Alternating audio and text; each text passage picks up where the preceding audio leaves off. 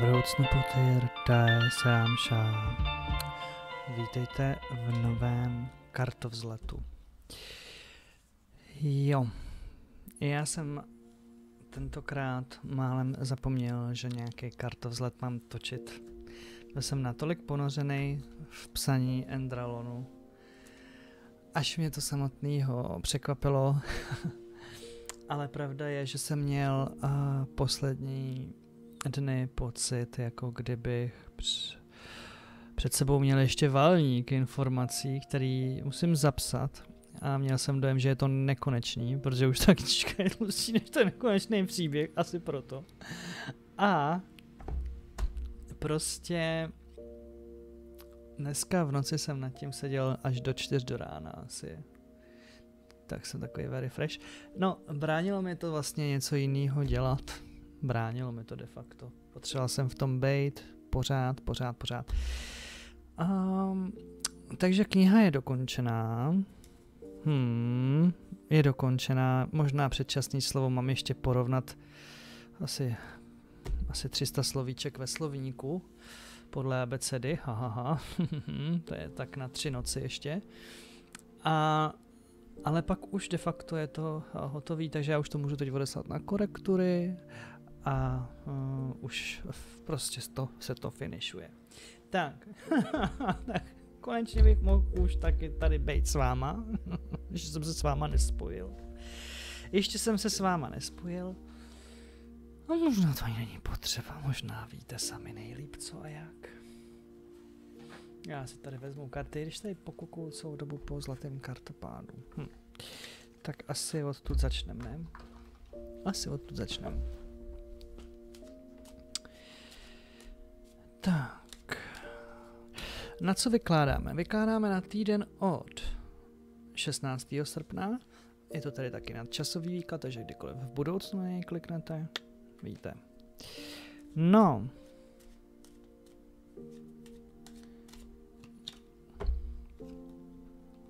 Není zač. Poděkuj, pokloň se, změň postoj, než přijde neštěstí. Nezapomeň, že Aha, nezapomeň, neštěstí nechodí po horách, ale po lidech, než se naděješ, dobré časy jsou pryč.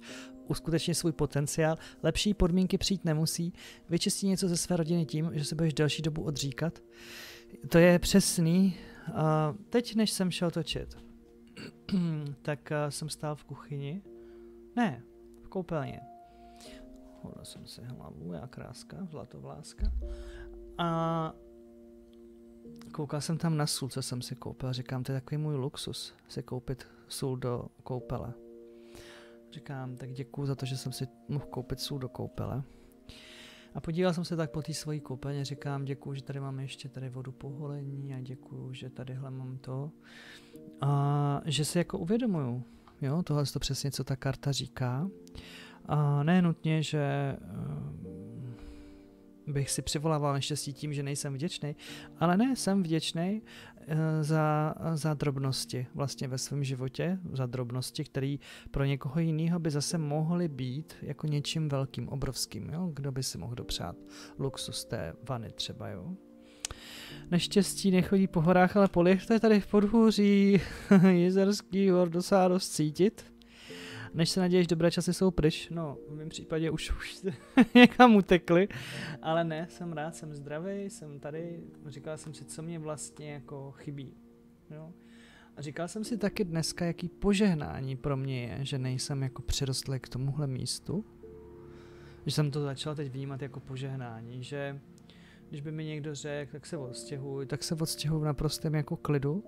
A doteďka jsem to vlastně vnímal jako, že to je hrozný, jako, když takhle smýšlím, ale vlastně mně přijde, že to je takový požehnání skrytý, že vlastně, co když není cílem, abych tady byl jako zatvrdlej celý život.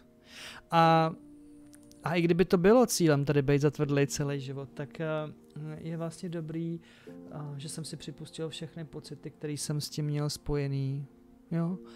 A napinkla mě na to jedna známá, když mi na výletě řekla, oh, proč bydlíš tady v Desný? Já vím, proč tady bydlím.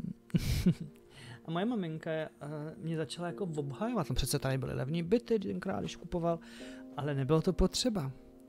Uh, že z pohledu někoho jiného uh, ta desná není jako mm, nějak krásný jako místo k životu. Hlavně ne teda pro rasisty. to teda opravdu jako místo k životu není. A, ale já jsem jakoby se začal dívat očima do té reality. A takže vlastně, když toho někdo říká, mě to nerozrušuje. Já, já jsem v souladu s tím, že to není místo mýho srdce. A jsem v souladu s tím, že tady nic není, ku dneska jsem šel koupit, jako šel jsem přes město s Amálkou a říkám, tak uh, dneska se mi nechce vařit, tak si koupím kebab. No, co čert nechtěl, já jsem se ho fakt nekoupil do dneška, jako uh, kebab, prodávají tam i zeleninu, že jo, krájenou. A říkám, tak se nebudu jednou dělat se zeleninou, tak si ji koupím. No nekoupím, protože kebab včera zavřeli. jako asi na furt.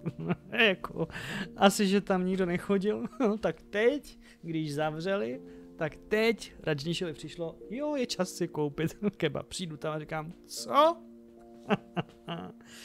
Takže asi taková logika tohohle města tu funguje, jo. Takhle tímhle podobným způsobem zavřeli tady cukrárnu, jo, protože jsem o ní začal vlastně přemýšlet až ten moment, kdy ji zavřeli a říkal jsem si, nakolik v tom hraje očekávání někoho. Jo? Takže to je hodně zajímavý, jakože se vždycky rozhodnou jít někam, až když to zavřou. Třeba druhý den nebo třetí den, ale já o tom nevím. Jak si říkám, kolik očekávání v tom hraje roli, jakože... Hm.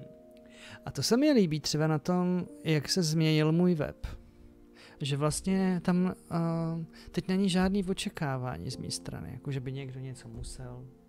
Je to moc milý, když někdo něco, ale není to, že někdo něco musí, takže mi přijde, že to je jakoby svoboda. Tak já se vrátím k té kartě.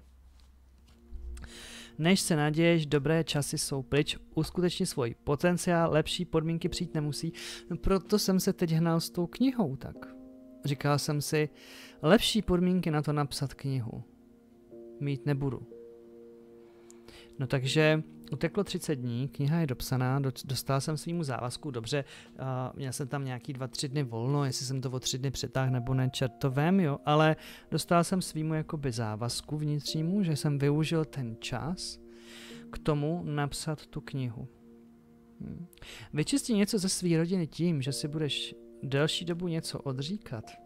To může být třeba i to, že tak jo, tak jako nemám doma nic jako zvláštního. Já jsem včera tady měl návštěvu, zdravím. a jsem říkal, ti nemám co nabídnout. Já mám doma akorát kafe a čaj. Ale opravdu jsem tady neměl ani zeleninu snad pro sebe. Jo, protože co jsem měl zeleninu, tak tu jsem dojet, než přišla návštěva. A já jsem, mám doma vymeteno, jako. Tak já jsem na dietě, jo. A říkal jsem, já nemám ani co nabídnout, jakože ani, ani, ani nudly doma nemám.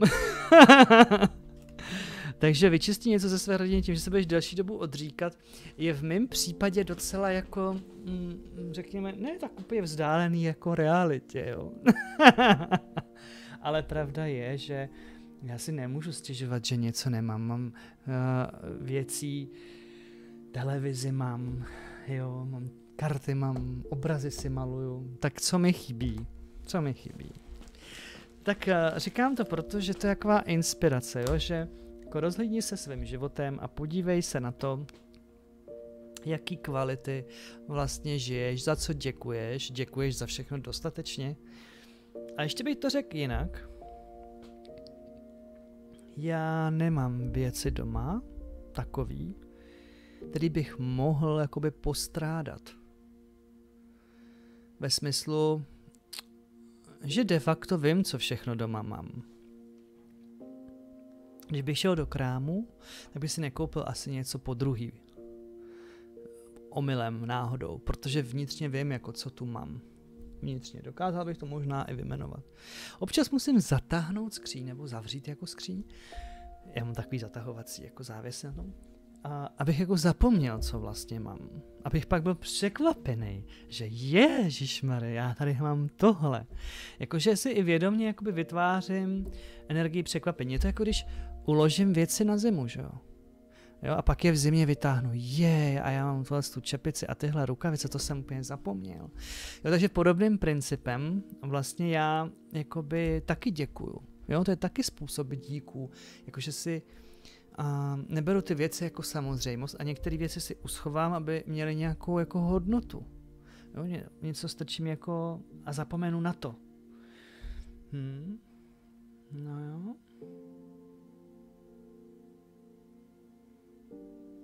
A návštěva mi taky říká, a já bych si půjčil od tebe knížku toho, jak se to jmenuje. Ani už víš, já jsem zapomněl i jméno své vlastní knížky.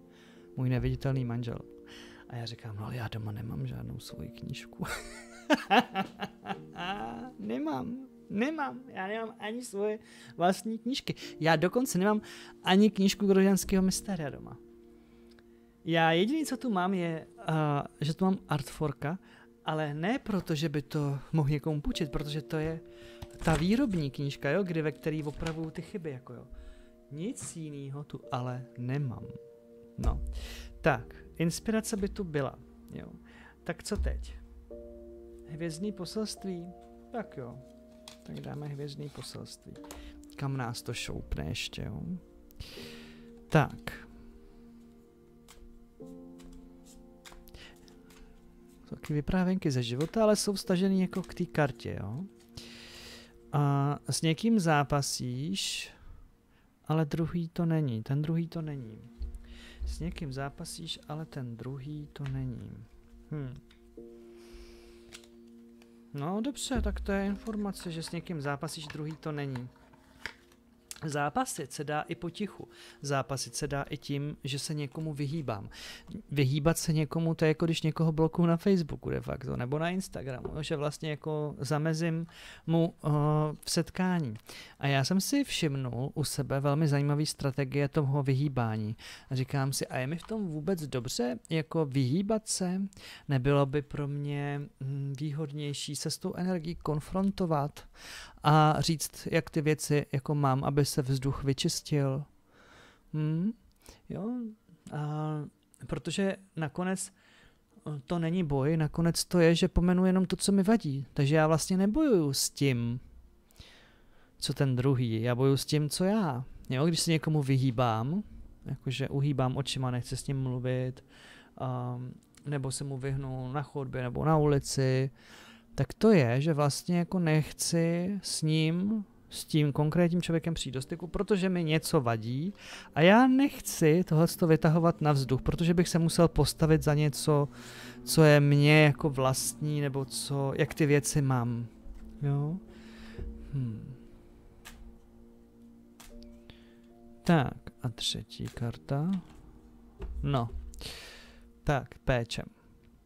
A mě tam chodí přemíra péče a chodí mi to, že ani tu kartu jsem už neměl tahat, takže ji takhle dám jakoby zpátky, protože cítím, že ty informace stačí, i když jsou tak kulantně schovaná do tohohle malého vyprávění. Takže vás nechám s těma informacema bejt. Uvidíte, jak se vám to poskládá, otevře. Jestli vám tam něco dosedlo, můžete mi to napsat do komentářů, aspoň si něco počtu. Jo? A pokud nic, no tak No, smůla, no, tak příště. Mějte se hezky, užívejte léto. No a já se budu těšit na viděnou příští týden. Jo, jsem si spálil palec, tak mám takový bolavý. Papa. Papa. Vroucno potyr, se hamša.